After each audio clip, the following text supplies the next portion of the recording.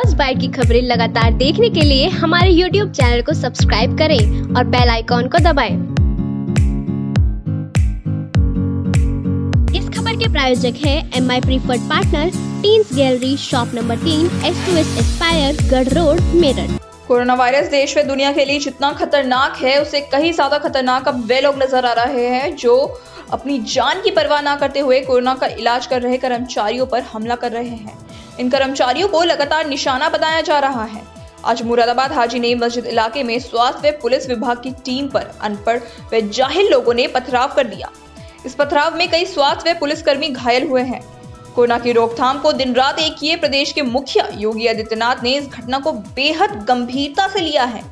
उन्होंने सभी आरोपियों पर रासुका लगाने व क्षतिग्रस्त संपत्ति की भरपाई इन आरोपियों से ही करने के निर्देश दिए हैं। इस बीच बिहार के मोतीहरी में भी स्थानीय लोगों ने पुलिस पर हमला कर दिया। इस हमले में दो सुरक्षाकर्मी समेत तीन लोग घायल हो गए हैं। मुरादाबाद में यह घटना नागफनी थाने के हाजीनेब की मस्जिद इलाके में हुई। दरअसल, कोरोना पॉजिटिव सरताज की दो दिन पहले मौत हो गई थी।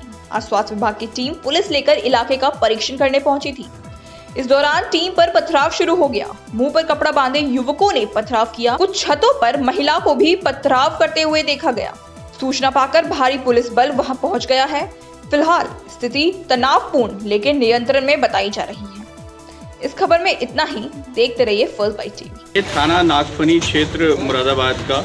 यहाँ पर कोरोना पॉजिटिव एक व्यक्ति की मृत्यु हुई, जिसके संबंध में उनके फ़र्स्ट लेयर कांटेक्ट फैमिली के सदस्यों आदि की क्वारंटाइन और आइसोलेशन की प्रक्रिया प्रचलित थी। तो उसके संदर्भ में मेडिकल टीम और पुलिस टीम यहाँ पर आई थी। तो जब परिवार वाले इस सब में अपने आ, बाहर निकल रहे थे उसी दौरान सडनली ये काफ़ी घना इलाका है डेंस गलियों में से सौ डेढ़ सौ का एक भीड़ आई और पथराव करके यहाँ से भाग गई जिसमें पुलिस की गाड़ी भी और एंबुलेंस भी क्षतिग्रस्त हुई है।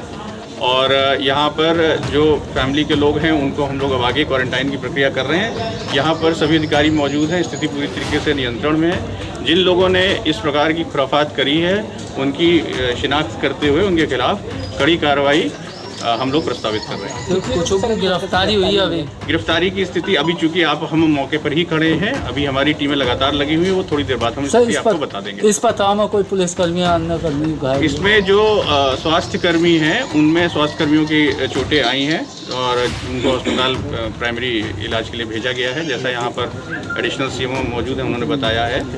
और ये थाना नागफनी क्षेत्र पड़ता है मुरादाबाद। सर कितने किस किस मुकदमे के तहत कार्रवाई की जाएगी सर? इसमें जो भी सरकारी कार्य में बाधा डाली गई है, वर्तमान में धारा 144 का उल्लंघन किया गया है। महामारी एक्ट में, डिज़ास्टर मैनेजमेंट एक्ट में, और साथ ही साथ राष्ट्रीय सुरक्षा अधिनियम के अंतर्गत इसमें कार्रवाई की जाएगी, क्योंकि ये पूरी तरीके से गलत है। इस प्रकार का व्यवहार, इस तरीके का जिसमें स्वास्थ्य व पुलिस एजेंसीज ऐसे कार्य में लगी हैं जिससे इस महामारी का प्रचार रोका जा, प्रसार रोका जा सके।